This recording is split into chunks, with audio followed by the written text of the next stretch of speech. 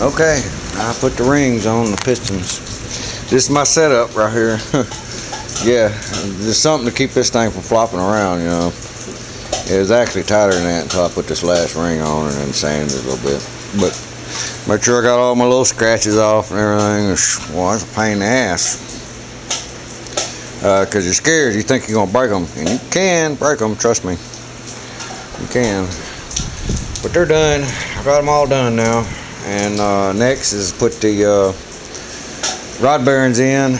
Uh, oil the cylinder walls real good. Oil the piston heads real good. I'm to go ahead and spray some blaster on. And then uh, put them in. So we're going one, two, three. So you got one, two. All right, this is four. I need to move that. That snuck in there somehow or another. Hold on. Move it over. There you go. And then three. Better move it over a little bit more. there we go. There we go. Alright. They're done. So I got one, two, three, and it's forward. So when I pull that off, it'll turn around and it'll be forward of the engine. Make sure I put the red F forward when I'm putting it in there. And it'll all work out because I've done mapped it out. And I still can't find a torque on this thing. Uh, that Ecotec, that's different. And uh, 96, 99s, they're roughly about 77 pounds on the uh, crank and 38 pounds on the rod bearings. So I'm still looking. Uh, this is not very descriptive. It only gives you the, uh, damn, what's that ring called? Uh, shit. Oil separator or whatever. Uh, oh, it's all in Spanish. No wonder I can't read it. there we go. Let's see. It's uh, the expander.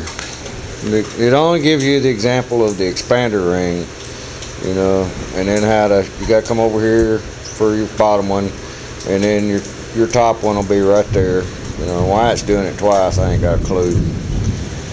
And then those rings, I don't know if you can see this. There's no dot or anything on them, but if you look, they got a number on them.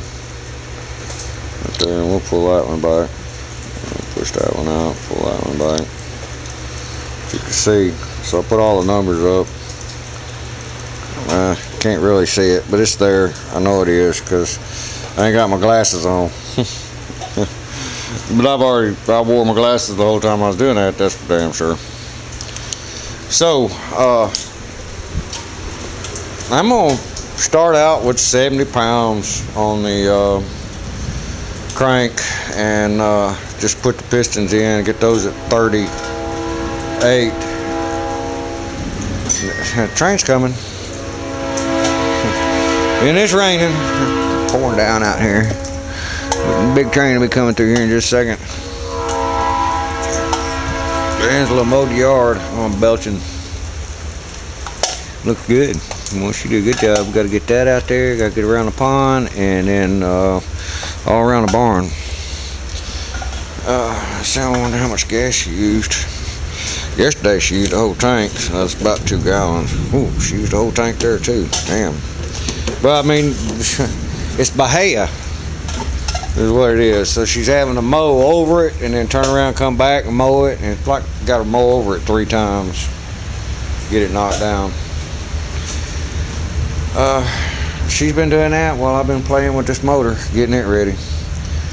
So y'all enjoy. Peace. Nanny nanny, shot spot and all that other good shit. There it is. There's the train. Can you see it?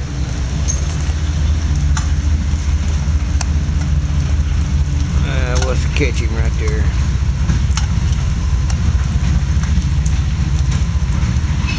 Maybe. Yeah, there he goes.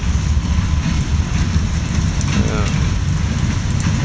They're only supposed to run about 40 mile an hour down there.